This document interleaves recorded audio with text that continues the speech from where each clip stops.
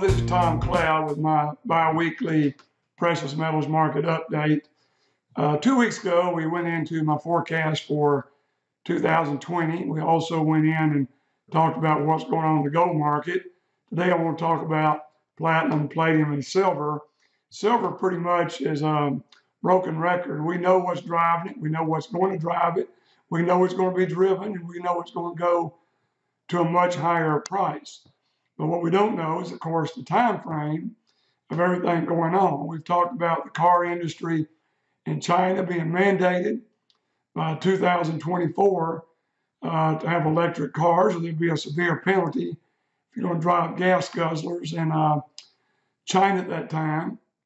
And also, we're seeing the solar panel business just explode in silver. The only thing missing, we've watched silver move steadily over the last 15 months from $13 up to $18, a, a very big move, but yet we've not seen even a part or a fraction of where we think silver is going. So my best advice is to keep cost averaging in, realize that Silver will be the first metal depleted from Earth's crust.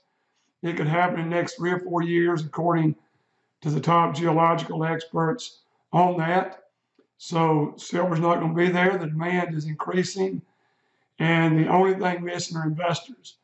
Investors, because it is an industrial metal first, always like to get on there when they see it moving and then they get out and they time it and try to make a big profit. And certainly there have been some huge profits made in silver over the years, but there's also been uh, down markets where people bought in the 30s or 40s, and now it's half of that. So silver is much more of a timing metal than gold and platinum and palladium that are used for other industrial uh, demand is not as much as silver is dependent on it. So I continue and urge you, there's a special we put out today on January 22nd, 2020.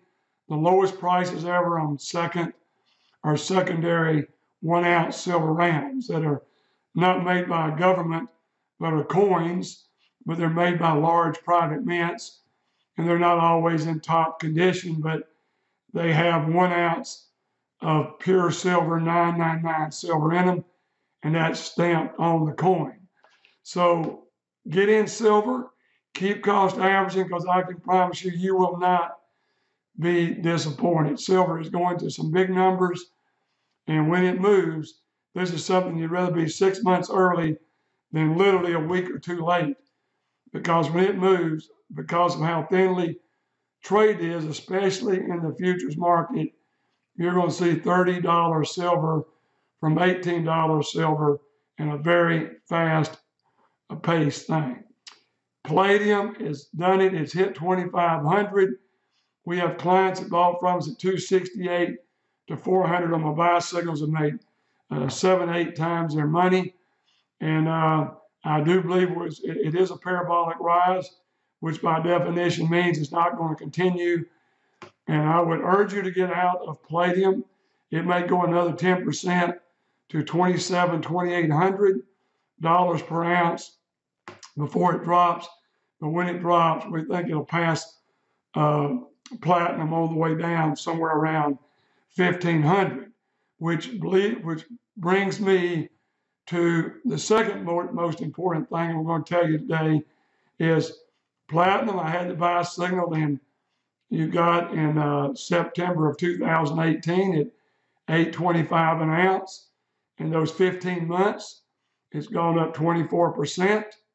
And then last summer on this very show, when it came back down to 756, which I called the very bottom, as did Jerry, we gave another buy signal, and the ones that bought in June, July, and August are up like 26% in uh, six or seven months. Platinum, because I'm going to read you something in a second, but platinum is in an all out buy and it's right perfect because, as I said, palladium and platinum have always had a reverse relationship. And we saw platinum go to 2000 when palladium was sitting at 600. Now we see palladium four times more at 2,500, and platinum sitting at between 1,000 and 1,100 per ounce currently.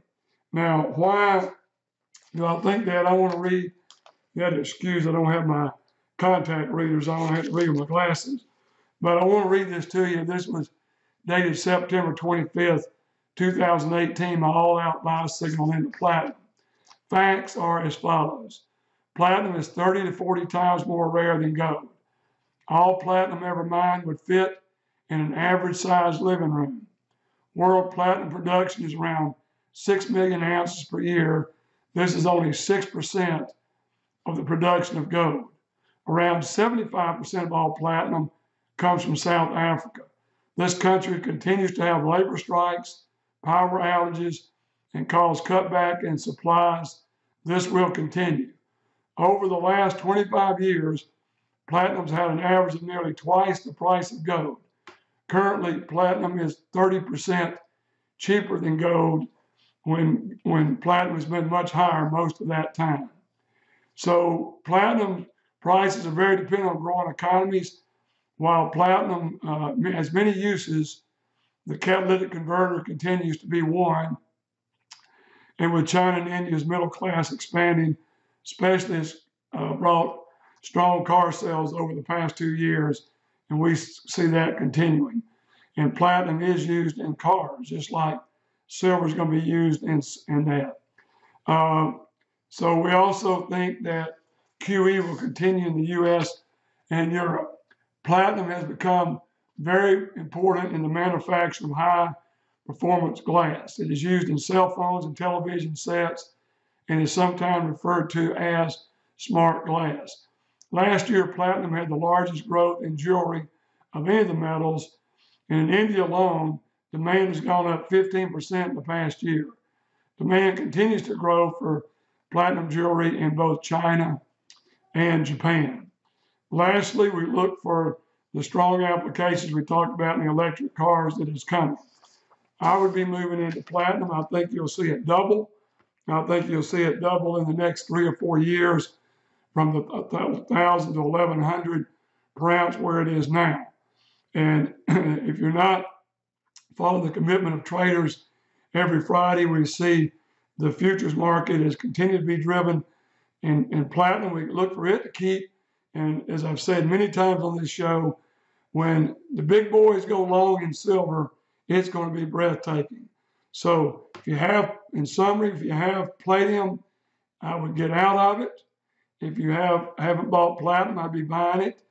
You want it as a percentage of your um, precious metals, like you may have 55 or 60 in gold, you may have 15 or 20 percent in silver, to as much as 40 depending on your age, because it has more volatility, but it also has more upside potential. And every person out there should own platinum because it has a great track record of going up steadily from 300 to 2,000 and then back down uh, in the 600s. And we think it's headed back to 2000s as it crosses roads with palladium.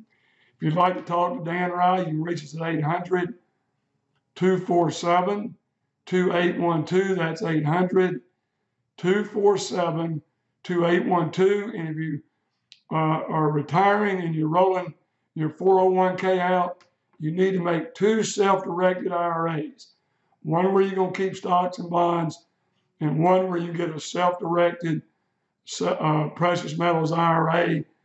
And uh, we'll help you get that. We cannot be your custodian but we can be your broker and your um, representative on that. So give us a call. We'll help you walk through that. But for your baby boomers like me that are coming out and retiring, make it two precious metal, two IRAs, one precious metals, and one conventional stocks and bonds.